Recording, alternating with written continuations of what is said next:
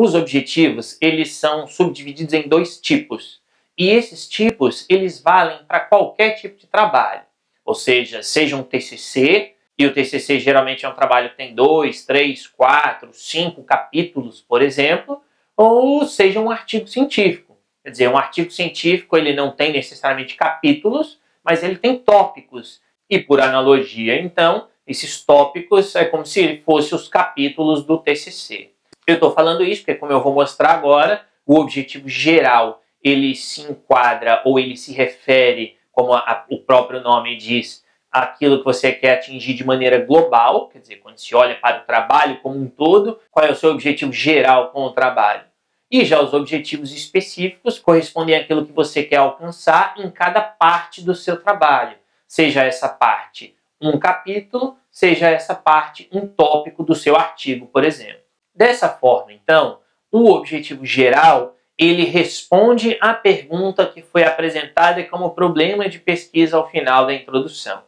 Ou seja, vocês terminaram a introdução com o problema de pesquisa de vocês, lembre-se de que eu falei isso na última aula.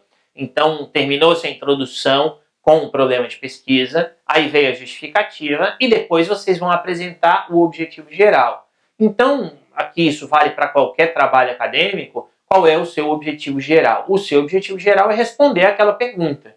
Então, existe aí um, uma, um exemplo, né? Existem aí exemplos, vou mostrar e vou explicar que a coisa mais simples possível é fazer o objetivo geral ou definir esse objetivo geral. Basicamente, ele vai corresponder à mesma frase do seu problema de pesquisa, só que enquanto aquela frase ela era feita na forma de uma pergunta, o seu objetivo é feito na forma de uma afirmação, como eu vou mostrar daqui um pouquinho na aula. Além disso, é importante chamar a atenção que se o seu trabalho possui apenas um único problema, como eu falei na aula passada, então o objetivo geral também vai ser um, apenas um. Ou seja, é errado se vocês identificarem objetivo geral 1, um, fazer tal coisa, objetivo geral 2, fazer outra coisa, isso está errado.